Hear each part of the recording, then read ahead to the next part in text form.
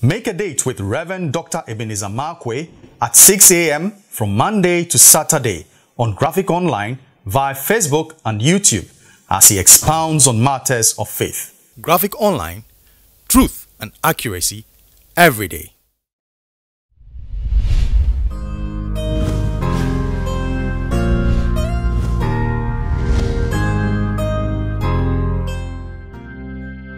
This is Reverend Dr. Ebenezer Markwei of Living Streams International.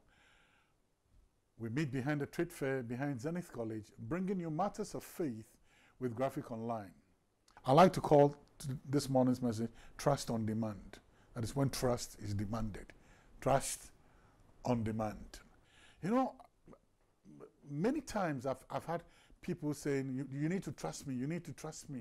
And especially when something has gone wrong between two people, and then, or maybe something happened, a misunderstanding or something. Somebody did something wrong, somebody offended somebody, or somebody did something that really shattered the trust of people. And then, you know, I've had people marrying these two words together. Well, if, if you're forgiving me, you, you need to for, you need to trust me. And I hear it constantly that men are forgiven uh, and you have to trust me. You have to trust me. And sometimes people demand trust from, from people. But you know, I read something in the scriptures, especially in Genesis chapter 42, from verse 5 to 8. Now, the Bible, it talks about Joseph and his brothers. You remember when, when Joseph's brothers um, came to Egypt and then Joseph recognized who they were and all those other things. And, and the Bible said uh, something that is very, very interesting. Even though Joseph recognized them, now these were people who had offended Joseph, and Joseph recognized them. And the Bible said when Joseph recognized them, he did not reveal himself to them. Now, it is Joseph's choice to walk in forgiveness. But it is also Joseph's choice to trust. Now, the Bible said Joseph did not reveal himself to them. You know, you know the reason why? Because he didn't trust them. You have no right to demand trust from me when you've betrayed my trust. You don't have any right to say to me that if I've forgiven you, then I must, of a necessity, trust you. No. Forgiveness is a decision you make, but trust is earned by a series of actions that you do.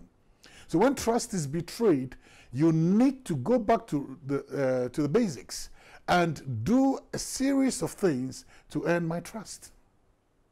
You need to do a series of things to earn my trust. And that's one of the cardinal things that I've found. That people say, well, I, I, uh, if you've forgiven me, I, I should, uh, you should trust me. Trust must be earned. So, Joseph did not reveal himself to his brothers because he didn't trust them. So, I've forgiven you, but I don't have to come and eat in your home. I've forgiven you, but I don't have to be uh, running around with you. No, no, no. You have to now do a series of things for me to trust, for me to be able to build trust in you. And it is a series of actions. Trust is earned and not exacted. So you can't exact trust from me and ask me to trust you by all means. No, and no, and no. Especially when trust was betrayed. You have to now earn it. And you earn it by a series of actions that you take. So forgiveness is a decision, but trust must be earned. So do not expose yourself and say because the past is past, so you, you just expose yourself and you do all that, uh, you might get hurt again. And it is always very important. Let the people or let that person earn your trust. Then you open all the chapters. But if you don't and you just go, you might get hurt again. So trust must be earned, but forgiveness is a decision, instantaneous decision that you make. See you later.